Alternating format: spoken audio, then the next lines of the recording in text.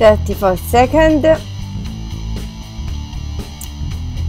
hello everyone here is the second video for uh, the practice question uh, simulation of an insurance company with 10,000 uh, policy and um, for, for a policyholder of 40 years old. In this video, we are going to um, explain how we do 200 simulations. We have seen in the previous, uh, in the first video, uh, here is here is the the, um, the sheet we have seen before, and this is the one simulation.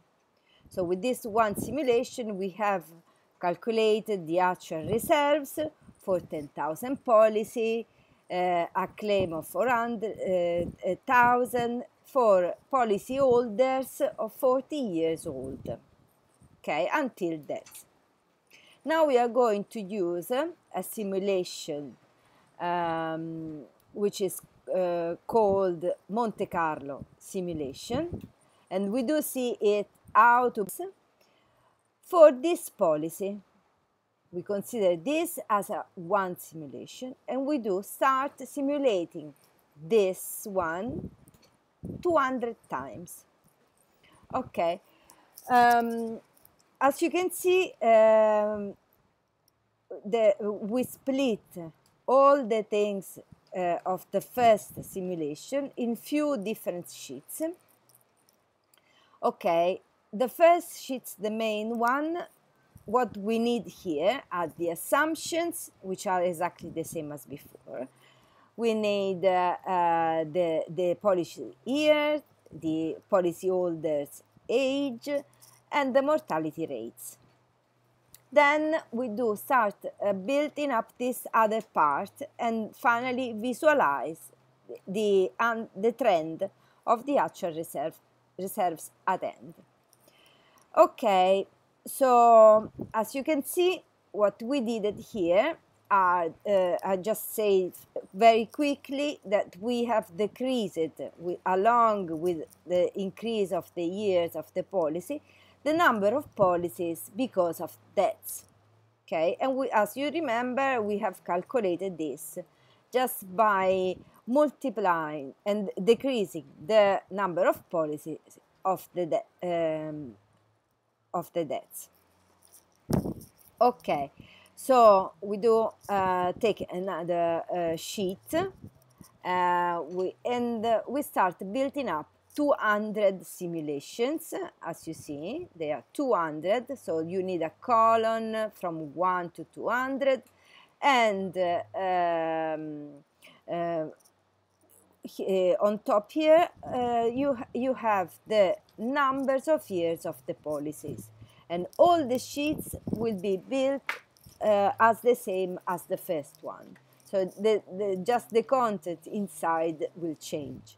So you just build up this as a simulation year uh, simulation and year uh, column and column names. For the policies for the year for year zero that for 200 times we we are sure we are sure to have 10,000 policies. And this won't change. This is just the same as here. So we have 10,000 policy for year zero and this is the same. 10,000 policy for year zero. Then for year one we need to decrease 10,000 policies of the number of deaths. Number of deaths as you see, is that B2, which is this sheet here. And this is obtained, this is the 6, exactly the same as this one here. And to obtain this thing, uh, what we do is just normalize, use this function in Excel as we did it before.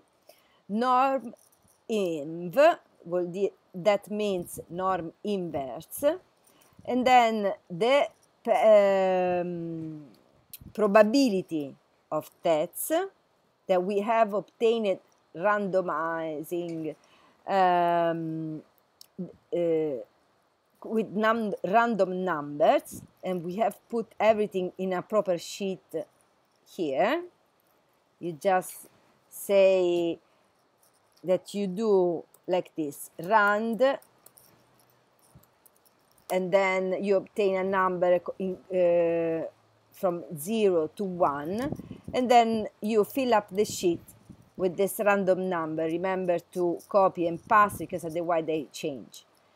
And then we take uh, we add this probability which is the random number we have just obtained. Uh, the mean deaths and the standard deviation of deaths. The mean deaths and the standard deviation of deaths are obtained, ju obtained just as the same as before, as the same as we did in the uh, previous video. Okay, so mean deaths is the first one is the multiplication of the number of policy for the mortality rate, and we do put the first one here in our skeleton uh, sheet. And then uh, it's important to link it the number of policy with the uh, column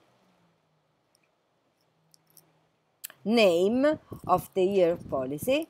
And it what, what the, the function lookup you should know what it does. Um, it's going to uh, this page and link the years of the policy with, with the mortality rate. So just then uh, scroll right and down and fill up the sheet, the same as with standard deviation, same exactly the same formula, for, formula as we did it for one simulation. Then uh, what we do is just look up, ad, add this bit here. So we need to link this to the first sheet with year and mortality rate. Once we have finally obtained uh, the uh, deaths, we can fill, uh, finish to uh, fill up our um, number of policy sheet because we the, the for, for, year zero it will stay 1000 uh, sorry 10,000 for 200 times. From year one onwards we need to uh, decrease it from uh, of the debts. So we do link this with the the the debts uh, sheet and then scroll right and down and fill up the sheet. Um, we go quickly uh, to the premiums. Uh, the premium uh, uh as uh, for the one simulation is obtained uh, number of policies times the premium amount. And so now the number of policies are been settled up. So we have the sheet of the number of policy fill it up. We can do the premiums because we take the number of policies that we just obtained from the sheet, the previous sheet, and then multiplying this value for the the um, the uh, um, premium amount, which is always the same. Okay, in fact, is uh, locked so you can find it uh, and uh, it will be it will stay always the same. Then scroll right and down and you fill up the sheet. So this is exactly what uh, um, a Monte Carlo simulation does. Okay and we are seeing in practice. So we have policy premium we have take a consideration of the number of deaths.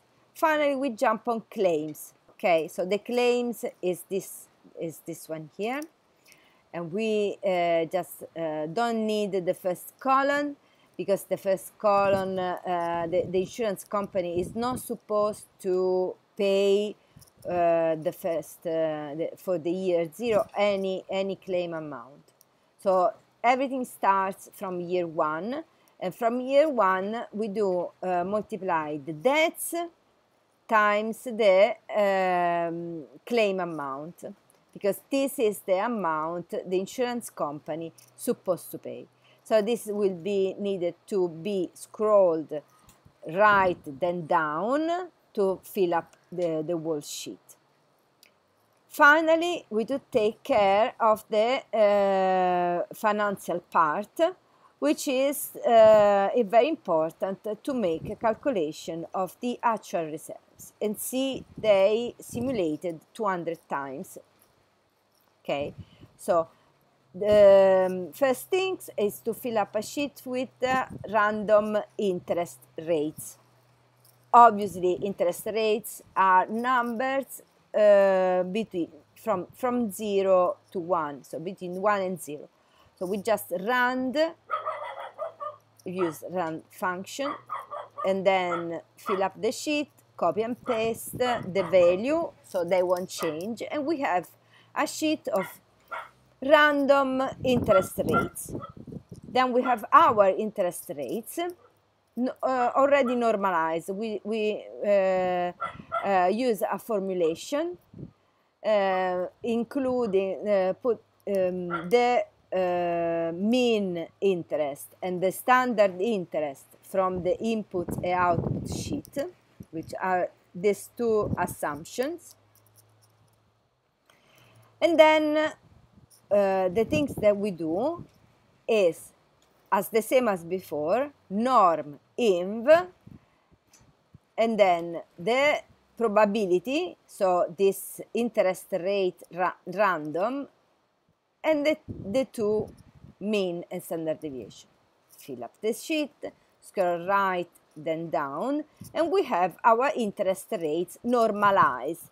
That means that they are more likely to be normal and not just the average that we know okay um, finally we obtain the actual reserve to conclude we obtain the actual reserves uh, with the same um, uh, formulation for the, the year zero that will stay the same just as the premium and then from year one onwards there will be uh, the previous year uh, actual reserve uh, at the interest rate, 1 plus the interest rate.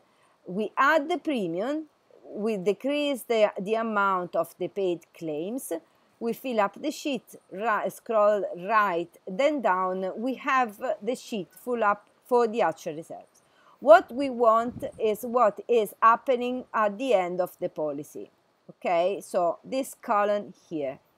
And in fact, in the first sheet, input output, we have just taken that column, highlighted here, and we have the 200 simulation to see the probability of sufficiency of the, the insurance, which is the probability that a premium charged will be sufficient to cover the claim's cash flows.